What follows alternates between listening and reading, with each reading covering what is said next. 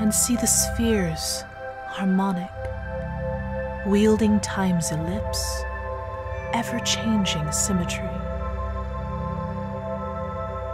Come to me, kiss of spirit, between the blessings and the blackness